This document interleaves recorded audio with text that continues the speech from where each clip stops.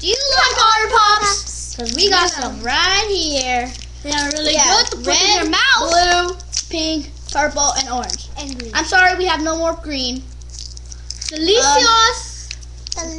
You should try them. You can get 200 in a big box at Costco. You can get 100 at Safeway. Um, they're very awesome. You should try them. I prefer the green, but the green's not here right now someone ate it. This right here is blue. It's not green. Um, I also like first is green. I okay. Here's my favorite list. First is green. Second's red. Third blue. Next fourth is orange. Actually, this is all in order except for the green's not here. Actually, they're all in order.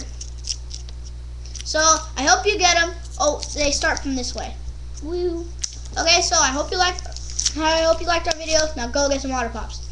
Now. Bye. Bye now. Buy the otter pops And now. get off the computer. Because I know your address. we will haunt you if you don't get them. Yeah. Yeah.